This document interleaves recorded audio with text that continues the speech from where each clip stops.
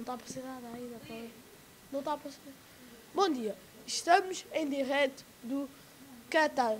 Do, do cargo que está se secando pelos militares.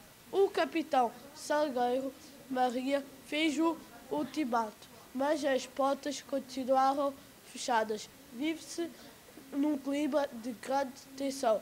Já foram disparados alguns tiros, não sabemos ao certo o que está a acontecer. Apesar dos devisos dos militares, vários populares vieram para a rua ver de perto esta cena. Está, está também vamos continuar aqui no Catar, Catar do Carmo.